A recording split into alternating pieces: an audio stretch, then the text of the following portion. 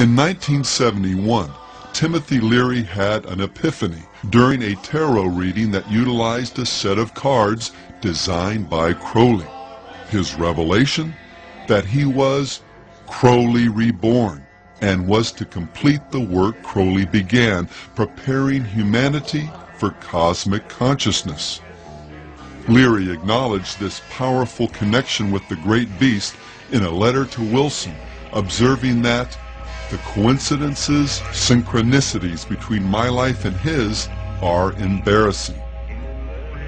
From this connection flowed frequent references to Crowley, his philosophy, and their common destinies in Leary's writings and speech. Well, I've been an admirer of Aleister Crowley. I think that uh, I'm carrying on much of the work that uh, he started uh, over 100 years ago, and I think the 60s themselves. You know, Crowley said uh, um, he was in favor of, uh, of uh, finding your own self and, and do what thou wilt shall be the whole of the law under love. It was a very powerful statement. I'm sorry he isn't around now to appreciate the glories that he started.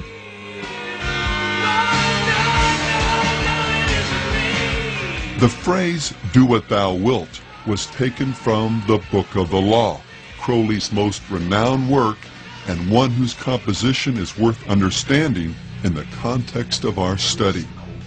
While visiting Egypt in 1904, Crowley's first wife, Rose, began going into spontaneous trances, muttering things like, They are waiting for you, and He who was waiting was Horus. Intrigued, Crowley and Rose went to visit the Cairo Museum. From a distance she spied a glass case and exclaimed, There, there he is. Upon inspection, the case did contain an image of Horus painted on a wooden stele. But what particularly stunned Crowley was its exhibit number, 666, his number, the number of the beast.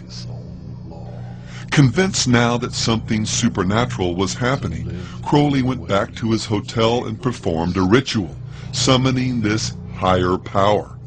Over three successive days, beginning on April 8th, the book was channeled through Crowley while in a trance. And the content of this revelation? I am the snake that giveth knowledge, the Spirit said. To worship me take wine and strange drugs, whereof I will tell my prophet. Falling on precisely the wrong side of the Bible's account concerning the fall of man and Satan's role, this snake spirit begins the revelation by telling man that he is a god, that reality is essentially an illusion, sin a myth, and that ethically there's no greater commandment than the law of Thelema. Greek for will, as famously stated in the 40th verse of chapter 1. Do what thou wilt shall be the whole of the law. We do what we want to do when we want to do it.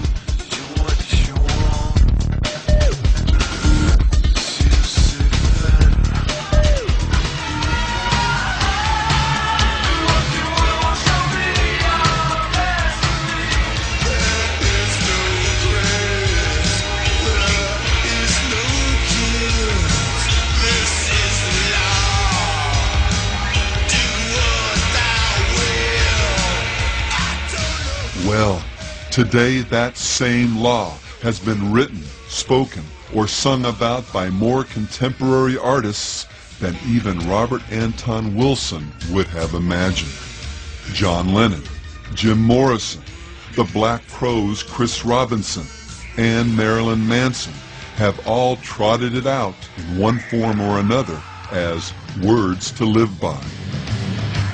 Harry Smith inserted it into the original handbook that came with his renowned Anthology of American Folk Music. It shows up in songs by Mudvayne.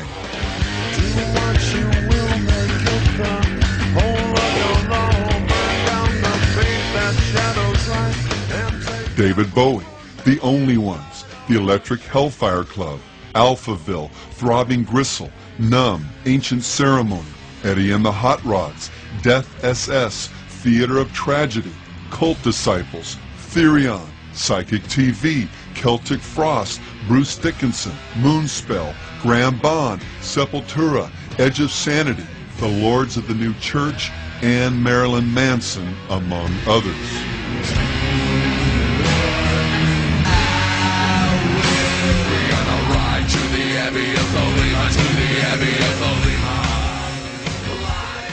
The band 311 not only uses Crowley's Law as a lyric, the bass player had it tattooed on his leg, as well as Crowley's Tree of Life design on his back.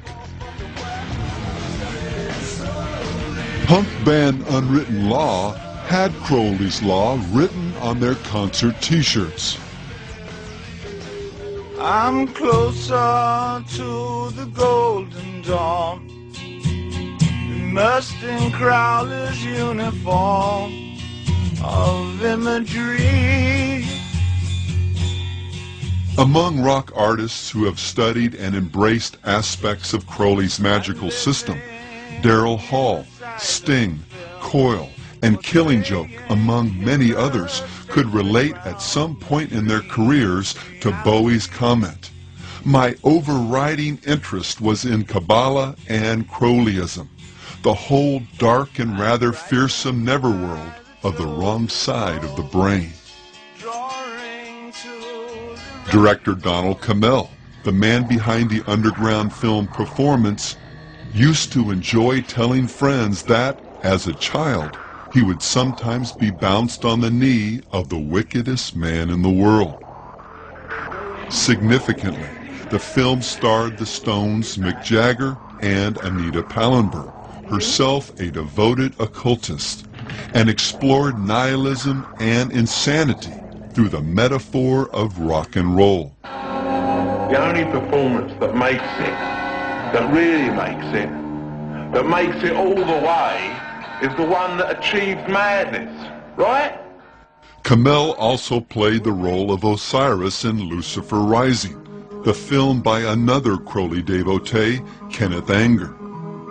Anger directed and produced a number of occult films that utilized the talents of rockers Marianne Faithfull, Mick Jagger, Jimmy Page, and Bobby Beausoleil, another Crowleyite who was later convicted of murder in relation to the Manson cult. And Led Zeppelin's Jimmy Page's fascination with the great beast is so notorious, it rates its own link on a website dedicated to Crowleyana. From studying magic as an adolescent, purchasing Crowley's old house, buying an occult bookstore and naming it after a periodical Crowley published, inscribing Do What Thou Wilt onto the runoff vinyl for the first pressing of Led Zeppelin III, even acting out rituals on stage that look an awful lot like those described by the Beast in his, quote, instructions to his magical order. Page it when he said, I've employed his system in my own day-to-day life. While few artists have shown the same level of dedication to Crowley's life and philosophy as Page, or the members of Coil, or any number of satanic metal bands, there's one sense in which Crowley's legacy has become central to the spirit of most of rock and roll.